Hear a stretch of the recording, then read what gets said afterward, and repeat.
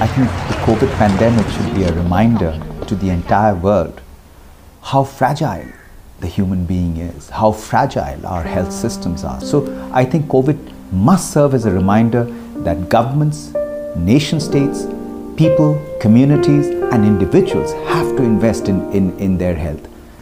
My health, my right.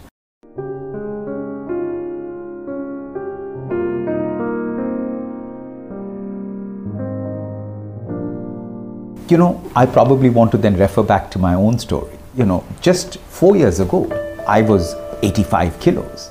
I had high blood pressure. I had a very high cholesterol level. I had to take responsibility for myself.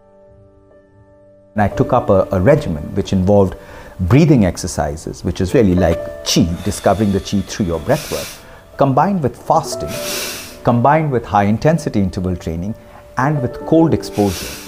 And over the last four years, this journey has been absolutely transformative for me. It's given me this sense of energy and heightened awareness and brought real mental, physical, and emotional equilibrium into my life. Four years down the line, I'm down at 60 kilos. I'm free of all the diseases that I talked about. I'm free of all forms of medication. Therefore, as an individual, one has to take responsibility of health health is a prerequisite for social and economic development. It needs an all of society approach. It's not just that the governments can do it alone,